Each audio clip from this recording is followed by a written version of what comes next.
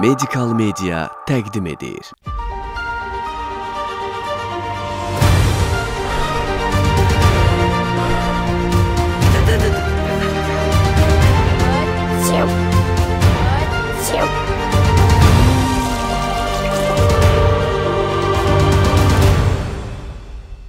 Azərbaycan Pediatriya Cəmiyyətinin təqdimatında Uşaq Sağlamlığı proqramında xoş gördük hər birinizi, dəyərli valideynlər, sevimli izləyicilər və bugünkü proqramımızın qonağı Beynəlxalq Epilepsiya ilə Mübarizə Liqasının üzvü, həmçinin EG mütəxəssisi doktor Lalə Həsənova bizimlədir və biz bu gün uşaqlarda sıx görülən nevroloji problemlər haqqında danışacağıq. Xoş gəlmisiniz doktor.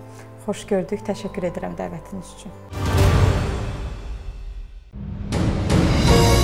Uşaqlarda sıx görülən nevroloji problemlər haqqında danışacağıq. Əsəbləşdiyi zaman əlindəki hər hansı bir əşyanı divara çırpır, bir yerə çırpmağa meyllidir. Bu uşaq nevrolojidir, bu uşaq əsəbidir. Onların nitq problemlərinə də səbəb olur və biz bunu tez-tez görürük. Nə zaman valideyn düşünsün ki, hə, mənim uşağımda kəldaxı təzyiq ola bilər və nevroloqa getsin. Epilepsik tutma zamanı fərqi yoxdur. Bu epilepsikdir, non-epilepsikdir. Tutma zamanı ağızla müdaxilə etmək olmaz. Qətiyyən dişlərini aralamağa çalışmaq və yaxud da ki, dilini tutmağa ehtiyac yoxdur. Uşaqlarda ən çox görülən nevroloji problemlər haqqında danışacağıq. Bilirik ki, uşaq hamının zəif tərəfidir və uşaqlarda olan bir sıra problemlər var ki, adətən ailələr bunu nevroloji səbəblərə bağlayır. Əsasən də bu uşaq nevrolojidir, bu uşaq əsəbidir deyə müraciət edirlər və çox zaman mən bir pediatr olaraq təcrübədə görürəm ki, yəni bu valideynlərin nevroloji uşaqdır, əsəbi uşaqdır dediyi uşaq əslində tamamilə normal uşaqdır.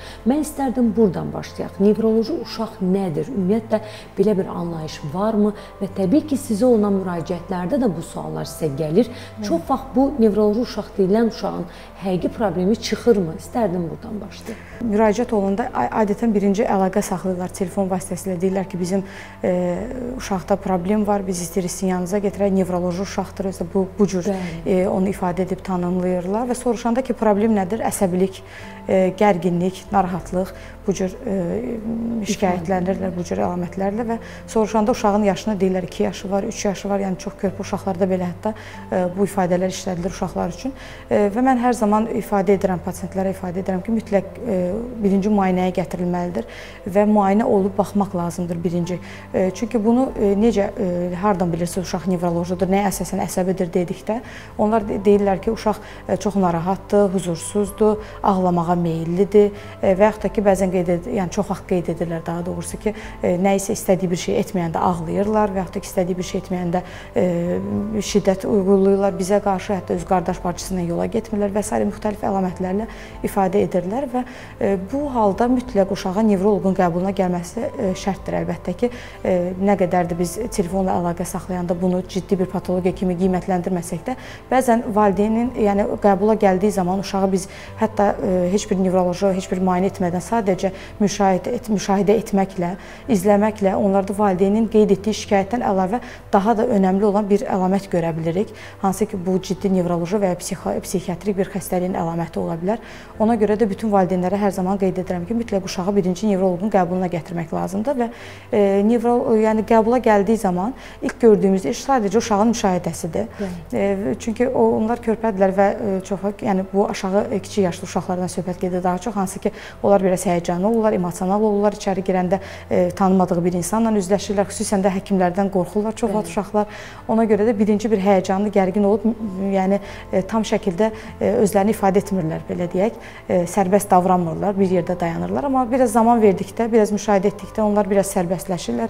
Onların hərəkətini müşahidə edirik, onların davranışını, ətrafa reaksiyalarını e, və bunları izləməkdən başlayırıq və daha sonra isə nevroloji müayinəyə keçirik və nevroloji müayinə etdikdən sonra artıq burada müəyyən bir fikir formalaşır və bu fikrə əsasən də biz hansı istiqamətdə müayinələrimizi, instrumental e, müayinələrimizi e, etməliyik, bu istiqamətdə artıq müəyyən bir fikir formalaşır.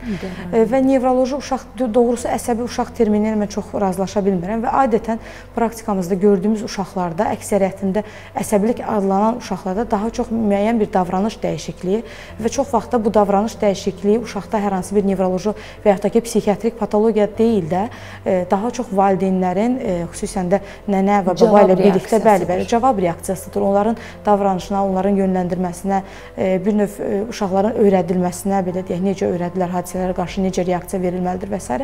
daha çox uşaqlar müşahidəçi olurlar.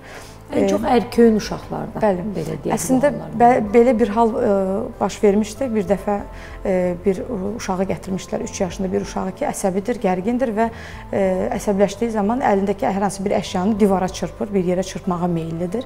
Və mənim ilk verdiyim sual bu oldu ki, hansınız bunu edirsiniz ana ilə ataya? və onda ata bir qədər pərt şəkildə ifadə elədi ki, həm mən belə bir şeylər edirəm, doktor əsəbləşəndə, bəli. Uşaqların bu şəkildə davranışları təkrarlanır. Buna görə deyirik ki, uşaqlar evin güzgüsüdür. Valideyn ifadə eləyir ki, məsələn, uşaq birdən-birə başını tutur ki, ağrıyır, e, gedir uzanır, başını bağlamaq istəyir və s. E, elə hərəkətlər var ki, həqiqətən də, yəni burada artıq uşağın bunu imitasiya etdiyi, kimisə evdə yamsıladığı e, işarətidir. Bəzən də uşaq gəlir, məsələn bizə deyir ki, bu uşaq bütün günü bel ağrısından şikayətlənir. Məsələn, baxırıq ki, müayinədə bu uşağın bel ağrısına səbəb ola biləcək hər hansı problem yoxdur. Orda müəyyən edilir ki, artıq evdə uşaq kimisə yamsılayır. Doğrudan da uşaqlar, yəni sizin təkrarınızdır, güzgünüzdür. Çox bizim cəmiyyətdə uşaqlar ə, e, nədə çaşbaş qalırlar? Ailədə hərə bir söz danışır.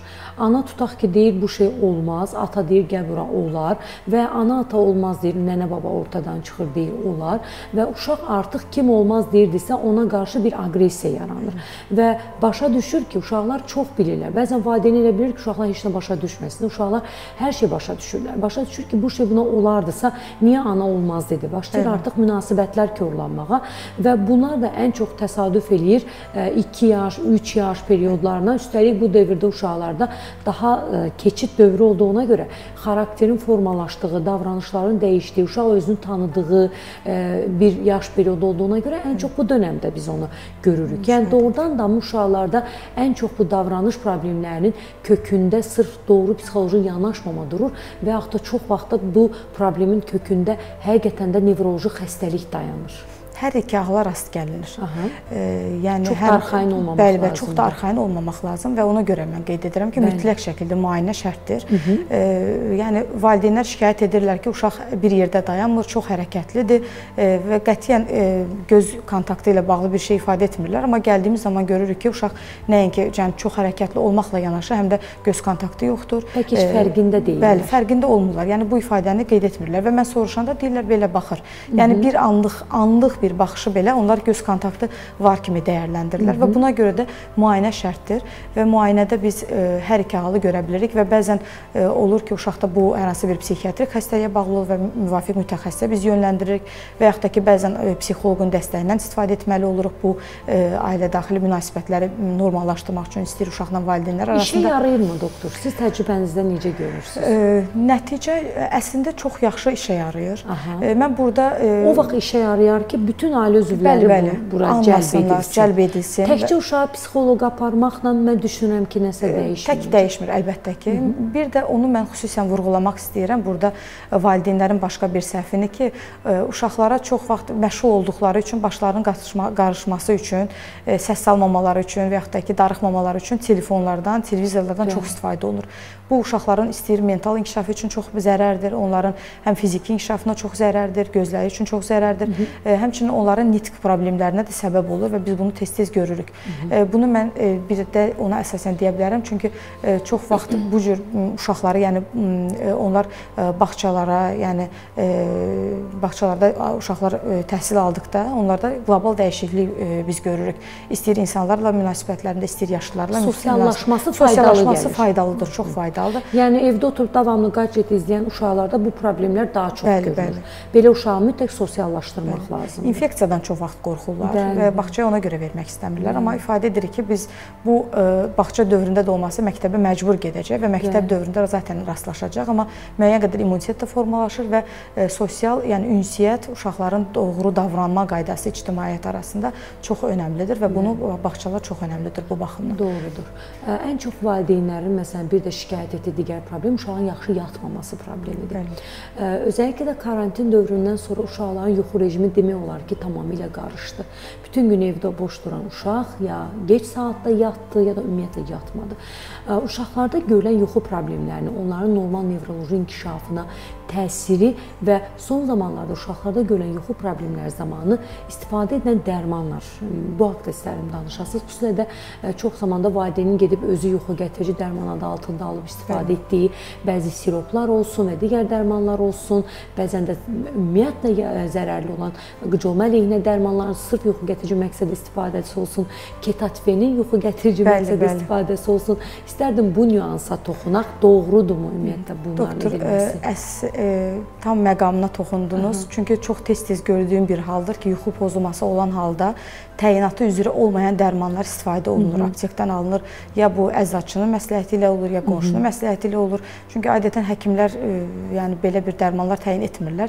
E, elə dərmanlar var, mən həmişə başa salıram valideynlərə ki, bu dərmanın e, yuxu gətirmə xüsusiyyəti onun əsas təsiri deyil, onun əlavə təsiridir, Bəli. yəni yan təsiridir Bəli. və siz bu yan təsirdən istifadə edərək təyinatı üzrə olmayan bir dərmanın uşağın yuxu pozulmasında istifadə edirsiniz.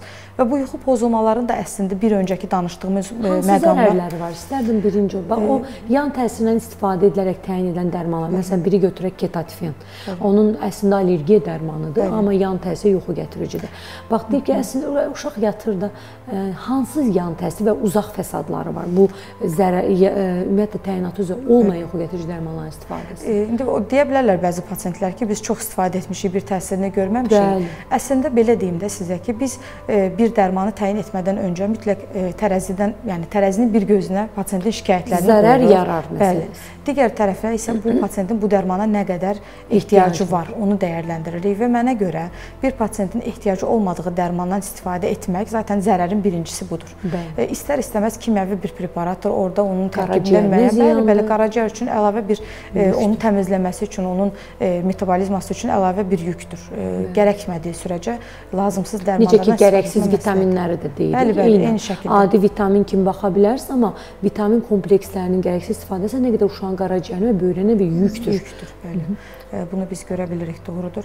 Və uşaqların normal nevroloji inkişafına mənfi təsir edirmi? Tormozlayırmı? Məsəl üçün bu uşaq deyək ki, yaddaşı daha yaxşı olacaqdısa, artıq zəif olmağa başlayır bu dərmanlardan sonra. Sedativ preparatların uşaq yaşlarında lazımsız istifadəsi bəli bunlara səbəb ola bilər. Təəssüf. Məsləhət deyil. Hı. Ona görə də xüsusən də bayaq qeyd etdiyimiz kimi o əsəbilik şikayəti ilə gələn uşaqların adətən ya onlar təyinat istəyirlər və mən çox vaxt təyinat vermirəm, yəni dərman təyin etmirəm. İzah edirəm valideynlərə ki, bununla hansı şəkildə mübarizə aparmaq daha düzgün olardı və yaxud da ki, çox vaxt təəssüf olsun ki, artıq valideyn gələndə başqa bir mütəxəssis tərəfindən və yaxud da ki, kimisə məsləhəti ilə hər hansı bir dərmanı başlamış olurlar, bəli, və biz çox vaxt onu dayandırırıq, dərman qəbulunu dayandırırıq.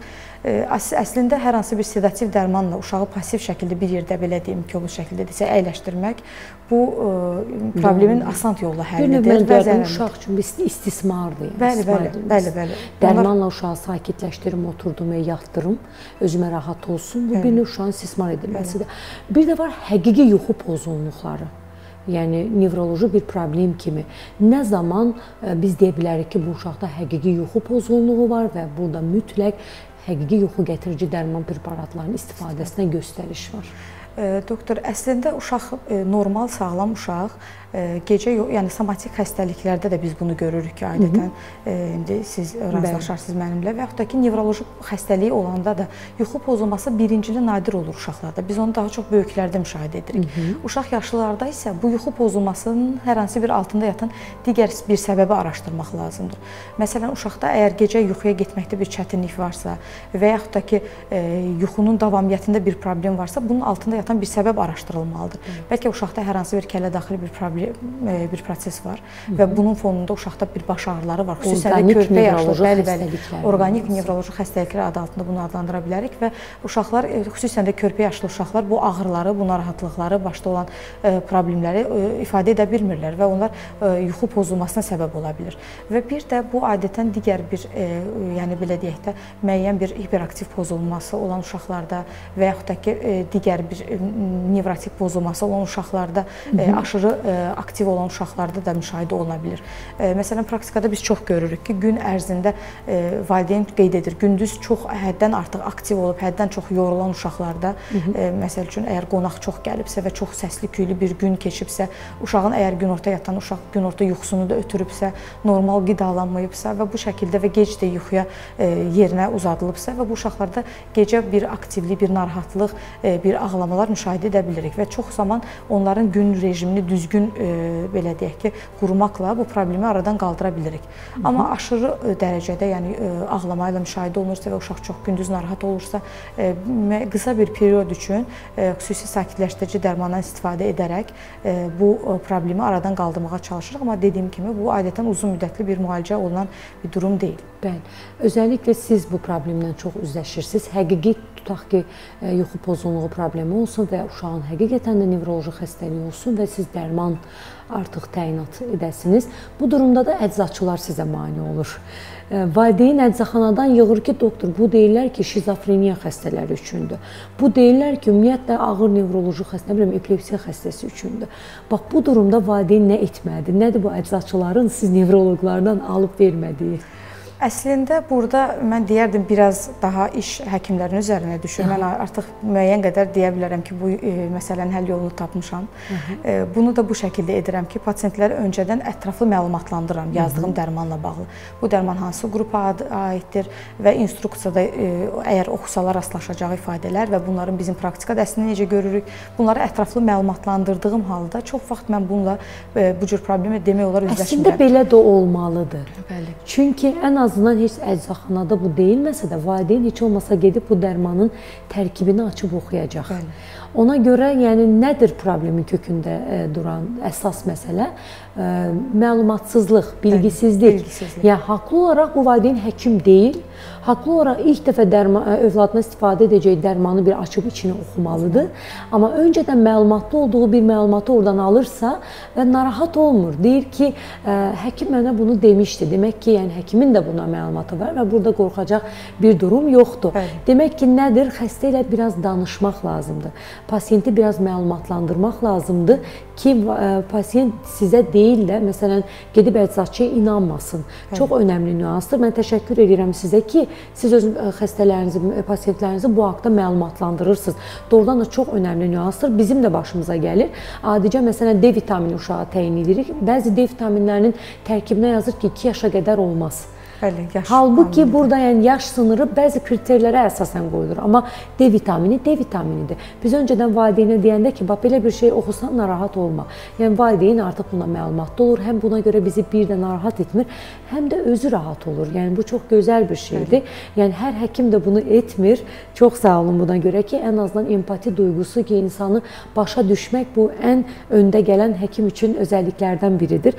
Mən istərdim ki, məsələn, uşaqlara gündüz gündüz yuxusu məsələsinə toxunasınız. Uşaqlar üçün ümumiyyətlə gündüz yuxusu nə dərəcədə önəmlidir və lazımdırmı? Çox qısa keçək digər nevroloji problemlərə. E, indiki bir çox uşaqlar belə deyək ki, artıq uşaqlar biraz akselerasiya, akselerant uşaqlardır. Ona görə e, gündüz yuxusu bəzən görürsüz 2 yaşlı bir uşağın valideyni də şikayət edə bilir. E, elə bu şikayətlə gətirir ki, uşaq günorta yatmır. Bəli. Və yaxud da ki, biraz daha kiçik yaşda, yaş yarımda məsəl üçün deyir ki, e, uşaq günorta yatmır. Soruşanda, yəni uşağı müşahidə edəndə görürük ki, bütün davranışlar, hər bir şey normaldır, tamam tamamilə reaksiyaları tamamilə normaldır. Gecə yuxusunu soruşuruq, gecə yuxusu tamamilə normaldır. Hı -hı. Və faktiki valideynin bu narahatçılığından başqa, çünki qonşu da eşidib ki, e, yaş yarımlıq qonşunun da o yaşda olan uşağı yatır, amma niyə mənim uşağım yatmır deyə bir narahatlıq yaranır. Amma biz müayinə etdiyimiz zaman heç bir şey görməyəndə, başqa bir problem görmədiyimiz zaman tək olaraq, yəni bu şikayətə çox əhəmiyyət vermirik açığı. Amma e, yenə də uşaqda bir narahatlıq varsa, e, gündüz yuxusuna mane olan başqa bir səbəb səbəblər, bəlkə evdəki ab-hava, evdəki şərait, səs-küy buna mane olan digər bir səbəblər varsa, əlbəttə ki, onlar araşdırılmalıdır və buna əsasən də araşdırırıq e, və problemi aradan qaldırmağa çalışırıq Bəli. bu şəkildə. Adətən gündüz yuxusu biz pediatrlar tərəfindən mən deyəcəm, bizim üçün çox da vacib deyil. Bəli. Əgər mən hətta valideynlərə deyirəm, əgər uşağın gündüz yatmağı gecə yuxusundan edəcəksə uşağı heç gündüz ümumiyyətlə yatırmayın. Çünki gecə yuxusu bizim üçün çox vacibdir. Uşağın sağlam inkişafı üçün çox vacibdir. Həm boy artımı, həm beyin inkişafı üçün. Amma gündüz yuxusu o qədər vacib deyil. Əgər uşaq istərsə yatsın, amma bu gecə yuxusuna mane olursa, uşağı gec saatlara qədər oyaq tutacaqsa, gündüz ümumiyyətlə yatırmayın deyirik. Çox sağ olun, siz də bizim fikrimizi dəstəklədiniz. Bir də mən uşaqlarda çox görülən və bəzi həkimlərin uşaqlara çox qoyduğu bu diaqnoz, hipoksiya diaqnozu haqqında istərdim qısa məlumat verəsiniz. Ümumiyyətlə belə bir diaqnoz varmı? Bizə gələn misal üçün pasientlərə çoxu bu diaqnozu nevroloqlar qoyur bu uşaq hipoksiyası var, beyni oksigen çatmır, ona görə bu uşaq narahatdır. Varmı belə bir şey? Əslində çox qoyulan diaqnozlardandır hipoksiya Aha. və bir də birini də əlavə etmək istərdim icazə versəydiniz doktor, kəllə daxili təzyiq. Aha. Bu iki diaqnozu demək olar ki, gördüyümüz pasientlər və bu diaqnozu qoymuş pasientlərin əksəriyyətində bu özünü doğrultmur. Hı -hı. Və bəzən çətin olur valideyni əksinə inandırmaq. inandırmaq. Çünki o qədər artıq onlar bir neçə mütəxəssisdə olmuş, ol, qəbulda olmuş olurlar və yaxud da ki, kimdənsə eşitmiş olurlar və s. onun əksinə inandırmaq çətin olur, amma izah edirəm hər zaman ki, hipoksiya və kəllə daxil təzyiq olduqca ciddi bir problemdir və var belə bir problemlər. Yəni hipoksik işemik ensefalopatiya dediyimiz durum var. Sadəcə hipoksiya deyilən bir şey yoxdur əslində. Beyinə qan işləmir deyə bir şey yoxdur. Xüsusən də uşaqlarda biz bunu görmürük. Bu daha çox böyük böyüklərdə müşahidə olunan bir problemdir. Onun da adı hipoksiya deyil zaten. Yəni beyinə qanın normal işləməməsi, beyin qan dövran pozulmasıdır və bunun artıq riskləri, əlamətləri, onun səbəbləri daha başqadır tamam, daha ağır bir patologiyadır. Və mən onu qeyd etmək istəyirəm, yuxarı yaşlı uşaqlar dərslər dərslərində kifayət qədər belə deyək ki, nəticələr çox yaxşı olan, davranışları hər bir şey yerində olan bir uşaqlar çox vaxt gətirirlər əsəbilik şikayəti ilə valideyn tərəfindən. Bunlar da biraz keçid dövründə olan uşaqlar olur və müəyyən onların belə deyək ki, bəzi artıq öz xarakterlərini göstərmək xüsusiyyətləri və s. bunları valideyn əsəbilik kimi qiymətləndirir və gətirir və bir çoxunda eşitdiyim bu ifadə düzü məni çox tədirgin eləyir və məni məyus edir ki, bu uşaq kəllə daxili təzyiqlə doğulub və yaxud da ki, bu uşaq hipoksiya ilə doğulub. təzyiqə görə çox yəni, uşaq əlaçıdır, tamam normaldır hər bir şey və gözəl uşaqlardır. Mən izah edirəm ki, belə bir şey olmayıb. Hmm. Və hətta hər zaman biraz bir qədər bunu yumorik edirəm ki, mən and içə bilərəm ki, belə bir şey yoxdur.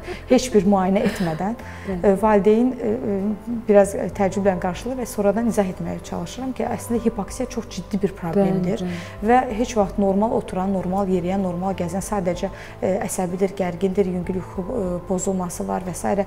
Yəni e, olan uşaqlara biz deyə bilmərik ki, bu uşaqda hipoksiya var. Yəni kələdaxi təzyiqdən bu uşaq uşaq vaxtı müalicə almışdı deyilirsə, deməli onlar hamısı Tam boşuna idi. Mən e, Bəli. fürsətdən istifadə etmək istəyirəm. Günay doktor, icazə versəydiniz bunu mən ifadə eləyərdim burada bu ki, e, kəllədaxili təzyiq dediyimiz, yəni bu intrakranial hipertenziya və çox vaxt uşaqlarda bunun səbəbi hidrosefaliyadır. Yəni beyinə hər hansı bir maye, bəli, bəli, olduqca ağır nevroloji bir xəstəlik xəstəlikdir və e, bilin ki, bunun dərmanla demək olar müalicəsi olmur. Hı -hı. Yəni e, biz bunu tanımlamaq üçün müəyyən bir dərman bir period istifadə edə bilirik, amma sonu bunun cərrahi əməliyyatla bitir. Xüsusi şuntlama deyilən bir cərrahi əməliyyat var. Yəni beyinə taxılır, bir qismi qarın boşuna və ya digər boşluqlara. Və bu xəstəliyin dərmanla müalicəsi, dərmanla müalicəsi yoxdur. yoxdur. Bu şəkildə və uşaq hər zaman şuntda olur. Yəni bu çox ciddi bir problemdir. Və e, bizdə kələdaxili təzyiqdə nə əlamətləri var deyəndə çox vaxt nə cavab alırıq? Uşaq gözünü bərəldirdi, dilini bayıra çıxardırdı, yaxşı yatmırdı. Yəni düşünün uşaqlarda bəli, biraz əmgəyi nə bilim balaca idi, əmgəyin ölçüsü balaca idi, kələdaxili təzyiq diaqnozu qoyub müalicə alan ailələr də var. Bəli. Yəni deyilən əlamətlər uşaqlar üçün, uşaq yaş körpə yaşları üçün tamamilə normal əlamətlərdir. Halbuki bu əlamətlər zamanı uşaqda ağır nevroloji xəstəlik ümumiyyətlə ən son belə düşünə biləcəyimiz bir şey deyil. Halbuki bu valideyn kələdaxili təzyiqə görə uşağa sidik qovucular verib veraşpiron verib, diakarb verib və s. Yanında da bir dənə qıc olma əleyhinə dərman verib. Fenobarbital verib, gluferal verib və e, rahatdır ki, mən evladımı müalicə etdirmişəm. Və uşaq böyüdükcə də o problemi aradan qalxıb valideyn düşünübdür ki, hə, mənim müalicəmin effekti oldu. Yoxsa bu uşaq böyüsə də dilini çölə çıxardacaqdı, böyüsə də gözlərini durduq yerdə bərəldəcəkdi və s. Yəni o qədər absurd və ə, e, norma dışı bir hallardır ki, buna həqiqətən insan sadəcə təəssüf hissi keçirirsən ki, bu uşaq gör, yəni çox gərəksiz yerə ağır dərmanlar məruziyətinə qalıb. Halbuki ə, e, belə olmamalı idi. Ə, e, və mən istərdim qısaca kələdaxili kələdaxili təzyiqin, ümumiyyətlə kələdaxili təzyiq xəstəliyi yoxdur, amma kələdaxili təzyiqin yüksəlməsi sindromu var və hansı ki, bu ağır nevroloji xəstəliklərdə görülə bilər. Onun əsas əlamətləri nədir və nə zaman ola bilər? Nə zaman valideyn düşünsün ki, hə, mənim uşağımda kələdaxili təzyiq ola bilər və nevroloqa getsin. Bəli. Kiçik yaşlarda, yəni adətən erkən dövrdə özünü göstərə bilər. Kiçik yaşlı uşaqlarda onlar ki, öz şikayətlərini ifadə edə bilmirlər və daha çox burada pediatrların üzərinə çox yük düşür. Hı -hı. Mən onu qeyd etmək istəyirdim ki,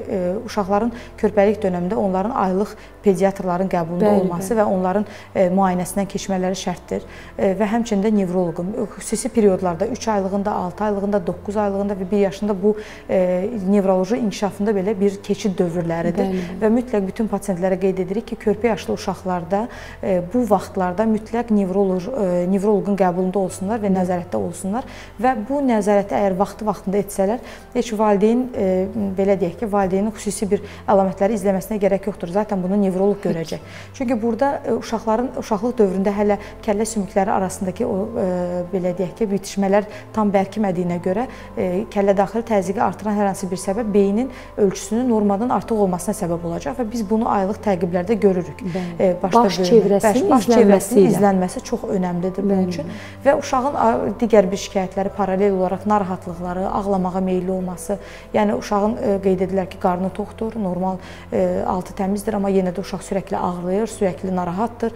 Bunlar çox önəmlidir və bir də gözdə xüsusilə batan günəş simptomu dediyimiz Bəli. belə bir əlamət var, hansı ki, gözün üzərində bir ağ zolaq kimi görsənir. Yəni gözün qarası sanki alt göz qabağına bir qədər yaxın olur. Bu çox önəmli bir əlamətdir. Normalda gözün qarasının aşağısında və yuxarısından gözün ağı görsənməməlidir. Bəli. Görsənirsə, bu ya egzoftalmik bir beyinlə əlaqədar olan bir problemdir, ya da tiroidin bir xəstəliyi ola, ola bilər. Hər bəli. bir halda belə bir şey valideyn öz övladına müşahidə, müşahidə edilirsə, mütləq həkimə getsin. Yəni bu normal hal deyil. Bəli, bəli. Bəzən də olur, bir gözdə var, o biri gözdə yoxdur. Bu isə gözün, yəni hətta xoşxəstə retinoblastoma kimi dediyimiz xoşxəstə işlərinə qədər ola bilər. Ona görə valideyn uşağın göz almasının qarası ilə yuxarısı və aşağısında gözün ağını görürsə xətt kimi, gözü batırsa, bəli, burada artıq Batır, nevroloji bəli. xəstəlik ola biləcəyini düşünməlidir. Çox sağ olun, təşəkkür edirik. Həqiqətən çox maraqlı nüanslara biz birlikdə toxunuruq. Bir də uşaqlarda məsələn valideynləri ən çox narahat edən və nevroloqa aparan şikayətlərdən biri də qıc olmalardır. Sudurqa kimi insanlar bunu bilir. Bəzən də məsələn valideynin qıc olma deyə təsvir etdiyi uşaqda belə bir əlamət olur. Uşaq deyir ki, doktor, uşaq ağlayanda göyərir ağlayanda özündən gedən kimi olur. Ağlayır, bir də nəfəsi geri gəlmir. Baxın, bu əlaməti sudurqa, qıcolma deyə bilərək uşaq hər ağlayanda həyəcana qapılan, panika qapılan və buna görə nevroloji müalicə alan ailələr var. Nədir bu əlamətlər və bunun qıcolma ilə fərqi nədir? Ümumiyyətlə uşaqlıq dövründə hər hansı bir duyğu durum, ani dəyişikliyi baş verirsə, yenə biz məsləhət görürük ki, mütləq müayinəyə gətirilsin və e, video çəkiliş çox əhəmilidir. Bəli. Bunu mən digər qatıldığım verilişlərdə də bu mövzu üzərində müzakirə etdiyim bəli, zaman bəli. hər zaman qeyd edirəm e, və bəzən düzdür valideynlər e, qeyd edirlər ki, həmin vaxt panikada oluruq, həmin vaxt çox tədirgin oluruq və biz uşağa video çəkə bilmərik. Amma mən ətraflı izah edirəm və bunun vacibi, vacibiyyətini qeyd edirəm. Çünki video çox önəmlidir və o istənilən müayinəni bəzən bəzən istənilən aparatları əvəz edir və e, diaqnoz qoymağımız üçün çox önəmlidir. Çünki e, bir e, tutmanın bu fərqi yoxdur, istəyir epileptik tutma olsun, istəyir qeyri-epileptik tutma olsun, onun semiotikası, yəni onun belə deyək ki, əlamətləri bir insanın hansı ölkənin nümayəndəsi olmasına, hansı millətə, irqə aid olmasından asılı olmayaraq eynidir. Bəli. Və buna görə də biz və nevroloqlar olaraq biz bu əlamətləri bilirik ki, ona görə də çox önəmlidir bizim üçün video çəkiliş və uşaqlarda da biz çox körpəli yaşlı uşaqlarda hallarda bu cür halları biz görə bilirik. -hı. Onlar xüsusən də emosional fonda hansısa bir səbəbdən ağlayarkən və bir pik affektiv bir tutma kimi ondan sonra nəfəslərin dayandığını, səslərin çıxmadığını valideynlər qeyd edir. Hı -hı. Əlbəttə ki, belə olan hallarda mütləq bir pediatr müayinəsi və kardioloji müayinə istəyirik. Əgər daha öncə, e, yəni e, belə deyək ki, bu uşaq bizə e, pediatr və yaxud da ki, kardioloq tərəfindən yönləndirilməyibsə, o zaman biz bu müayinələri istəyirik. Yox, artıq o terapevt, daha doğrusu pediatr və yaxud da ki, kardioloq tərəfindən yönləndirilibsə və öz tərəfindən hər hansı bir patologiya inkar olunubsa və biz izah edirik. Yəni yenə deyirəm, video ilə və dəqiq təsvirlə biz ifadə edirik ki, bu qıcolma deyil, bir, affektiv bir tutmadır və təhlükəli bir durum deyil və sonra isə keçib gedir. Adətən 5 yaşa qədər biz görürük. Bəli, görürük. Bir də affektiv tutmaların altından çox vaxt dəmir azlığı da çıxa bilir. Əgər uşağın ürəyi kardioloji müayinəsi normaldırsa, nevroloji müayinəsində də bir problem yoxdursa, bu uşaqların əksəriyyətində dəmir azlığı problemi çıxır ki, çox zaman biz dəmir ə, əksikliyini müalicəsi etdikdən sonra şikayətlər ya azalır, ya tamamilə itir. Yəni bu qıc olma, sudurqa deyil də normal görülə biləcək fizioloji və affektiv bir vəziyyətdir. -hı. Belə olduğu halda çox uşaqlar çox möhkəm ağlayanda bu olur. Ailələrə deyirik ki, mümkün qədər çalışın çox möhkəm ürəkdən ağlamasın və zamanla da ötüb gedəcək bir problemdir. Qıcolmadan söhbət düşmüşkən, qıcolmalar o qədər geniş bir mövzudur ki, yəni bundan səhərə qədər danışmaq olar. Amma məsələn uşaqlıq çağında ən çox görülən qıcolma vəziyyətləri, bəzən də valideynləri, yəni qıcolma dedikdə adətən əlin ayağın qıcanması, dilin arxaya getməsi kimi bir durum başa düşürlər, amma əslində qıcolma çox geniş bir məfhumdur. Evet. İstərdim buna toxunasınız. Uşaqlarda hansı əlamətlərin qıcolmaya bağlı ola biləcəyini düşünsünlər və mütləq nevroloqa müraciət etsinlər. Bəli, ümumiyyətlə e, uşaqlıq, yəni uşaqlar müraciət edən nevroloji problemlər olan hansı ki, ciddi nevroloji problem dediyimiz hallardan biridir epilepsiya xəstəliyi və epileptik tutmalar siz qeyd etdiyiniz kimi olduqca rəngarəngdir. Bu təkcə huşun itməsi, uşaqların ətraflarında, əllərində, ayaqlarında e, qıcolmanın olması, gözlərin çevrilməsi ilə müşahidə olunmur, həm də çox rəngarəng əlamətlərlə Bəli. özünü büruzə verir. Və xüsusən də uşaqlıq çağında çox qeyd elədi, e, etmək istədiyim e, və nəzərdən qaçma ehtimalı olan tutmalardan biri də absans dediyimiz kiçik tutmalardır, hansı ki heç bir qıcolma baş vermir, sadəcə uşaqda bir neçə saniyə ərzində sanki gözü yol çəkirmiş kimi donmaların olmasıdır və uşaq bu vaxt bitdikdən uşaq sonra fikrə gedir. Fikrə gedir sanki. Ailələr belə düşünür onu adətən. Və bəzən huşun fluktuasiyası, huşun pozulması, dəyişməsi ilə müşahidə oluna bilər bu. Yəni e, yüngül pozulma ola bilər. E, məsələn bir nümunə göstərmək demək istəyərdim mən sizə bir e, yəni absans epilepsiya ilə müraciət edən bir uşaq, 9 yaşlı uşaq valideyndən soruşduqda valideyn deyir ki, hardasa 1 aydır başlayıb bu problem. Çünki bu absans tutmalar baş, yəni bu donmalarla müşahidə olunan bu epilepsiya e, müşahidə olunur uşaqlarda çox sıx tutmaların sıxlığı ilə. Yəni gün ərzində dəfələrlə bu təkrarlanır və çox sıxlaşdığı zaman valideyn bunu e, belə deyək ki, Fərq fərqinə vara bilir. Bəli. Bəzən isə bu e, seyrək olduğu zaman nəzərdən qaça bilir və mən bu uşaqdan soruşduqda isə biraz daha ətraflı məlumat aldıqda daha çox 6 ay əvvəl uşaq qeyd edir ki, mən dərs danışdığım zaman yerimə əyləşmək istədikdə bir də baxıram ki, mən öz partamı keçmişəm. Yəni 3-cü sırada oturur və birdən ayılır ki, 5-ci sıraya qədər gəlib və sonra qayıdır yerə, öz yerinə. Yəni bu şəkildə və yaxud da ki, deyir dərs soruşduğum zaman müəllim sualı verirmiş, mən cavab verməyəndə müəllim bir də məni təkrarlayırmış və mən onun sonra cavab verirdim. Bu əlbəttə ki, absans tutmaların e, çox önəmli bir məsələni də qeyd etmək istəyirəm. Uşaqlar bunun fərqində olmur və bu yəni bu söhbət böyük yaşlı uşaqlardan gedir, hansı ki öz şikayətlərini ifadə edə bilirlər. Uşaqlar mən donuram sözünü heç vaxt demirlər. Bunu çünki onlar onun fərqində olmurlar. Mənə bunu deyən uşaq müəllimənin şikayətini qeyd edir ki, müəllimə narazılıq edirmiş ki, bu nədir? Diqqəti məndə deyil. Mən bir sualı sənə iki dəfə təkrarlayası oluram Hı -hı. və buna görə də buradan valideynlərlə yanaşı müəllimlərimizə də istəyirəm ki, bu ə, bunu qeyd edim ki, onlar da fikir çox versinlər. xahiş edərdim ki, onlar da fikir versinlər əgər uşaqlarda hər hansı bu cür bir donmalar, bəli, bu cür Adətən fikir verirlər doğrudan da, yəni ailələrə bildirirlər. Bildirə bilirlər. Ailə elə olanda daha diqqətə alır. Çünki deyir ki, hə, doğrudan evdə də belə eləyir, məktəbdə də belə eləyir. Fikir verirsə məktəbdən bu şikayət gələndə daha narahat olmağa başlayırlar Hı. və həmən həkimə müraciət edirlər. Qıcolmadan söhbət düşmüşkən bunu deməmək mümkün deyil. Sizlə bizim bir ortaq pasiyentimiz olmuşdu, hansı ki, illərlə bu uşaq qıcolmaya görə müalicə alırdı. Hı və valideyn bu müalicənin artıq effekti olmadığını bildirdi və bizə üz tutdu. Birinci mənə gəldi pediatr olaraq. Hər hansı bir özü qurddan şübhələnib gəlmişdi. Bəli. Bəzən qıcolma adı altında qurda görə də müalicə alınan vəziyyətlər yəni. olur, təəssüf ki. Və təbii ki, yəni biz burada artıq qurd deyil, e, nevroloji bir problemin ola biləcəyini düşündük və sizə göndərdik. Əslində, yəni video monitorinqdən söhbət düşmüşkən mən onu deyirəm. Siz də bu uşağı müayinə etdiniz. Onun tutmalarının nevroloji tutmaya oxşamadığını bildirdiniz. Halbuki bu uşaq qıcolma əleyhinə dərmanlar alırdı. Sonra bu uşağın problemin altından nə çıxdı? İstərdim bu pasiyentin üzərindən toxunaq. Oradan da tutmalar deyilən şey o qədər geniş məfhumdur. Valideynlər çox diqqətli olmalıdır və görüntü alınması bu qədər vacibdir. Bəli. Əslində bayaq qeyd etdiyim və yəni valideynlərin narazılığı ilə üzləşdiyimiz hallardan biri idi bu pasiyent. Bəli. Mən ifadə eləyəndə ki, mütləq video çəkiliş lazımdır. Çünki belə deyim ki, birinci gələndə pasiyent müayinəyə ümumi nevroloji müayinə etdik və ümumi nevroloji müayinədə heç bir patologiyaya rast gəlmədi. Yəni nevroloji statusu tamam normal idi və bundan sonra mən e, e, məsləhət bildim elektroensefaloqrafiya müayinəsini etməyi və bu müayinəni etdikdə də nəticədə yenə heç bir şey aşkarlanmadı. E, e, bilirsiniz, çox çətin olur bu situasiyada dərmanı, e, yəni valideynlə ortaq bir məxrəcə gəlmək. Ona görə ki, mən anlayıram əslində valideynlər çox tədirgin olurlar uşaqlarda bu halları gördükcə və təcili bir şey etməyini etməyimizi istəyirlər, dərman təyin etməyimizi.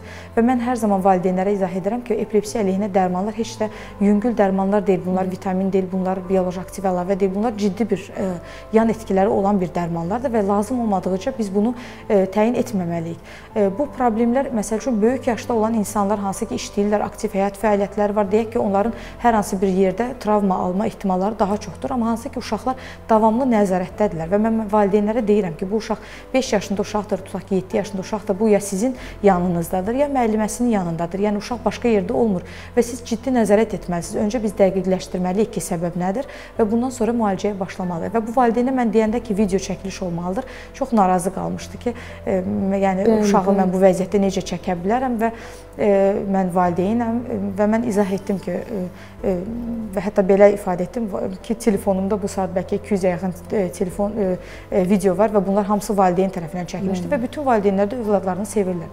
Və bundan sonra e, valideyn xatırladı ki, evdə video var, kamera daha doğrusu var. kamera var və dedi ki, mən bir baxaram, əgər kameraya düşübsə, o e, hissəni kəsib sizə göndərərəm.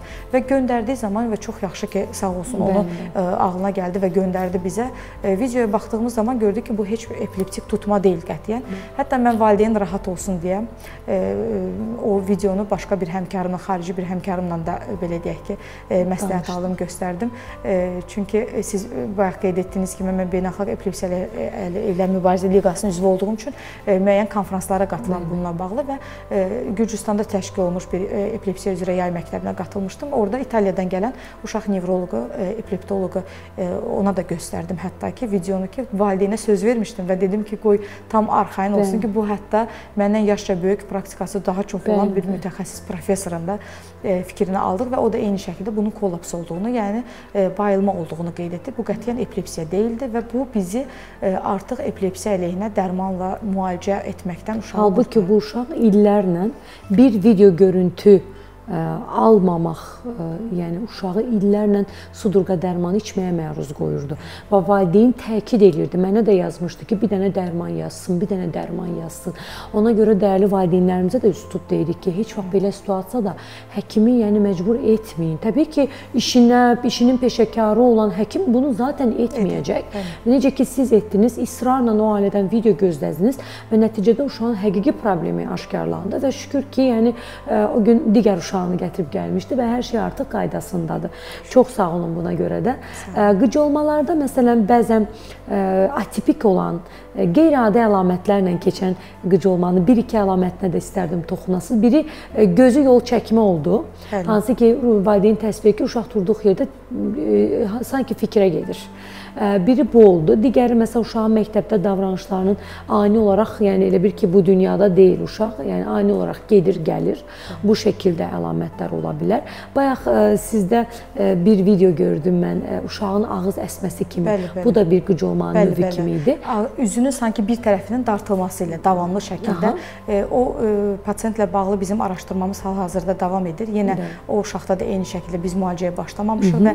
və əksinə ona təyin olunmuş başqa bir dərman var var idi və biz onu dayandırdıq və məsləhət gördük ki, bütün dərmanlar hal-hazırda dayandırılsın və sadəcə biz izləyib baxmalıyıq, onun səbəbini aşkarlamalıyıq. Hı -hı. E, o və sadəcə heç bir əlində, ətrafında heç bir qıc olmadan sadəcə gözlərinin e, çevrilməsi ilə müşahidə olunan bir hallar ola bilər.